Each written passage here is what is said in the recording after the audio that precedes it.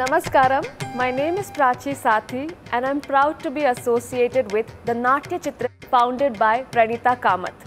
Natya Chittra is an organization that is working towards making classical arts more approachable, more accessible. And how is that?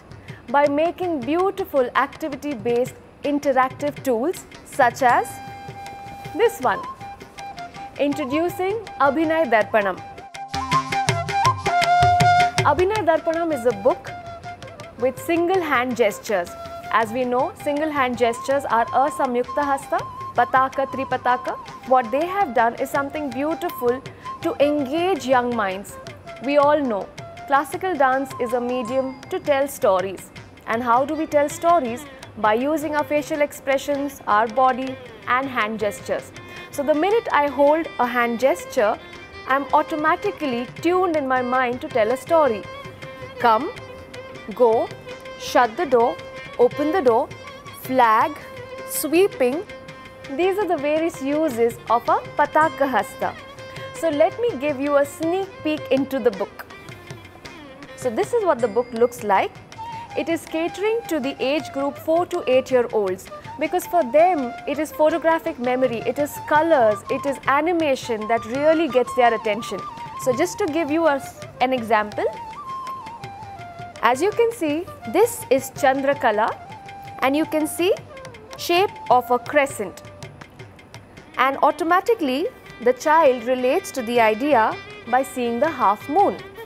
And then what happens on this side of the page is that there are two or three Viniyogas which are given as in the uses of Chandrakala.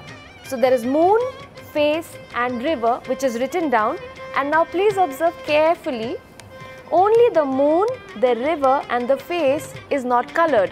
So what does the child do? The child automatically connects the use of Chandrakala to face, okay, colors the face. Crescent moon colors the crescent moon and Nadi, okay, as they show it in dance, this is Nadi and then the child colors the river. And this is exactly the same for all the different hastas. And then what happens at the end of the book which is very interesting and I really really find it a very useful tool to tell a tale. Because what do you do with all these hand gestures? You connect them and you make your own story. I am a little girl. I am feeling sleepy. So in this, what have I done? I've used the Pataka Hasta, I've used the Mrigashirsha Hasta and again the Pataka Hasta or as we can say the Anjali Hasta to show sleep.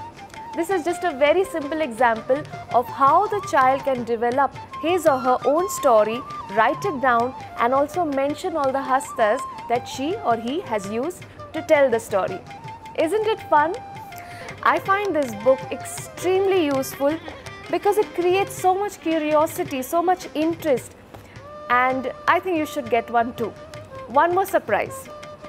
At the end of the book, you will find a little chart. So this chart is again mentioning all the single hand gestures. So very easy for the child to understand, learn and of course most important apply. So I hope you're getting your copy soon. Abhinay Darpanam.